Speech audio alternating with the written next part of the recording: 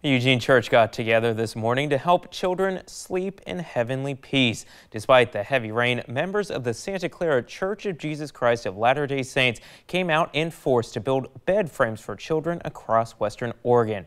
The church partnered with the organization Sleep in Heavenly Peace, which works to provide beds for kids in need across the country. The volunteers met their goal of building 40 bed frames. Church leaders say the work took a lot of planning and preparation, but ensuring children have a place to sleep is well worth the effort. We've been working on this for about a year now and uh, trying to make sure we got it all together. We were able to watch Sleep in Heavenly Peace at a previous event to sort of see how it worked and realized it was something we would be able to involve all of our youth in. And that's that was a really exciting opportunity for us. Now, he says this was the church's first ever collaboration with Sleep in Heavenly Peace, and they are looking forward to doing more work with them.